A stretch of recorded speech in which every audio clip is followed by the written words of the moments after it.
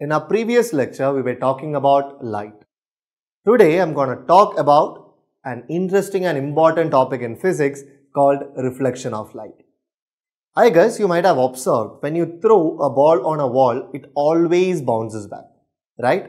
The light which we are talking about also has a similar feature. It bounces back when it falls on a surface. Because of this bouncing back of light, we are able to see things around us. The phenomenon in which the bouncing back of light happens is called as reflection.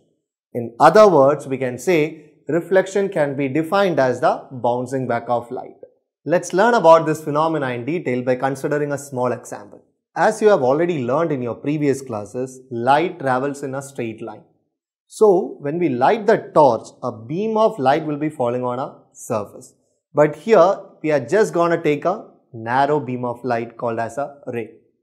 So, the ray of light which falls on the surface from the torch is called as incident ray and the ray which bounces back from the surface is called as reflected ray. Now, let's draw a line normal to this plane by which we can divide the angle between incident ray and reflected ray. The angle formed between the normal and the incident ray is called as incident angle or angle of incidence.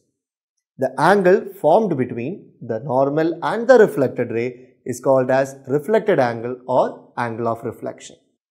So by analyzing these facts, scientists have made some laws for reflection.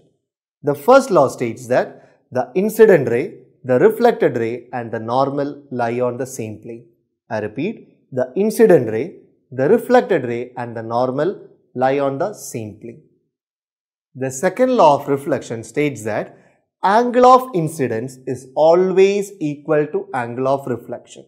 I repeat, the second law for reflection states that angle of incidence is always equal to angle of reflection.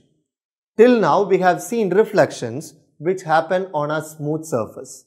Such reflections which happen on a smooth surface are called regular reflections. But just take an example of a broken mirror. The image or the reflection over there will be irregular. Such reflections which happen on an irregular surface are called irregular reflection or diffused reflection. Now let's do something interesting. Just take a pen on your right hand and go and stand in front of a mirror. You can observe the pen appears to be on the left side of the image. This phenomenon is called as lateral inversion. Here in this lesson we have learned about a wonderful phenomenon reflection of light.